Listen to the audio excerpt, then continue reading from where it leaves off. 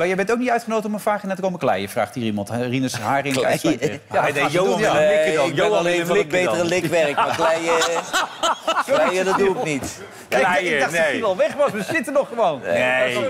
Excuus daarvoor dan weer.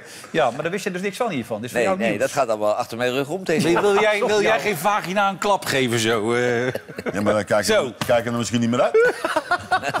nou ja, daar heb je grote kans op bij die, bij die blonde, weet je.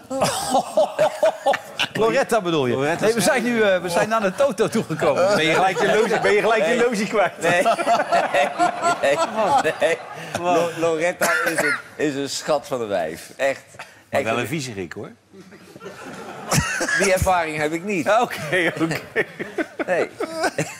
Ik voel me zo lullig dat Cecile toe. Zit zo recht tegenover mij. Ja. Dit, dit doen we normaal gesproken in Cecile, die, die Nee. schrikt hier niet van. Die heeft, die heeft een jaar opgesloten gezeten met een viesbeuk die een cafetaria heeft in beneden Leeuwen. Ja, Gerard eraan. heet Die kreeg het ja. vet niet meer uit haar haar als ze s'avonds thuis kwam. Daar word je toch ook helemaal niet goed van, toch? Nee. Wat zouden we ook weer gaan doen? Oh ja, de Toto.